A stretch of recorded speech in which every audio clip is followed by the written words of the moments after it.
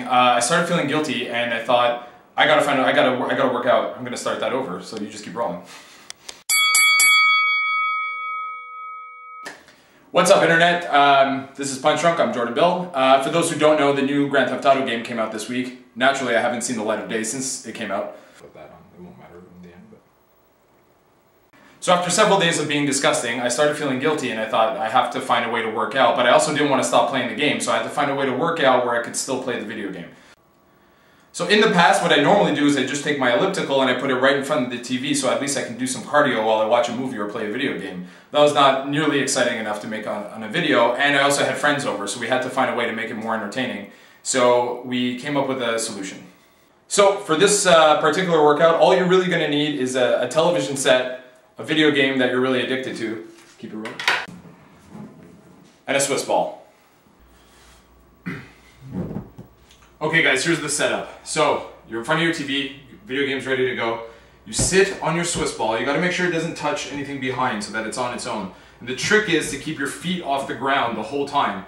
For the sake of this video, I'm gonna try to balance myself on the ball and I'm gonna make sure that in the game, uh, I'm gonna do a race because I noticed that when I'm playing the video game and I'm in a high-speed car chase or race, I tend to do this kind of stuff a lot, like like like an idiot, uh, which will be extra challenging when I'm on here. So this should work out my core. Now I'm in a fist fight because I ran over a guy's dog with a motorcycle. Oh, now the dog's attacking me, and I feel like this is all happening for real, and I just died.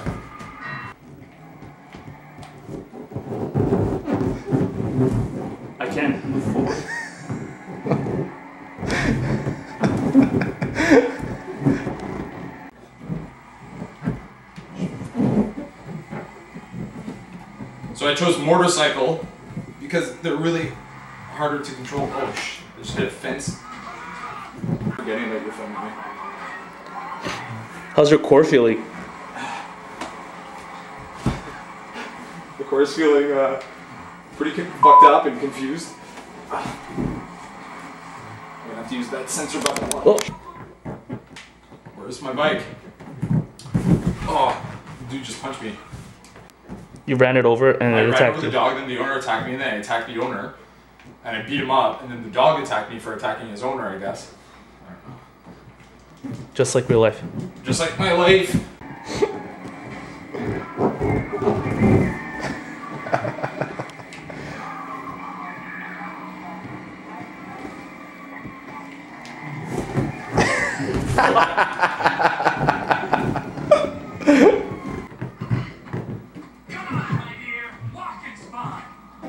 Alright, quick update. Found an old car.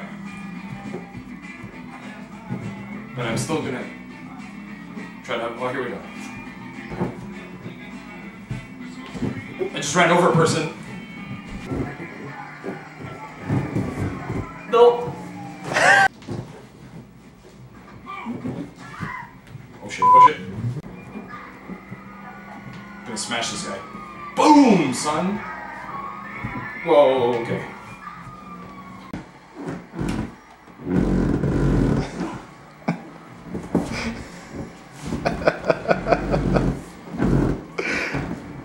I really want someone just to walk in right now and be like, what are you two fucking idiots doing? I bet you're happy you clicked on this video. I bet you're not wondering why you're watching this right now. Shit. Well, there you have it, internet. Uh, that's how I like to work out when I'm in front of the TV for too long and I start to feel guilty. Uh, you can also do squats, lunges, and sit-ups, or you can be like the rest of the world and not work out in front of the television and just control yourself a little bit. But I don't seem to have that skill set. Anyway, if you are currently addicted to Grand Theft Auto, please message me because then we're automatically best friends. Also, um, if you have ways that you like to work out in front of the TV, uh, please leave a comment below. And other than that, this was a great talk. Uh, get out there, kick some ass. I'll see you next Friday. Get over here!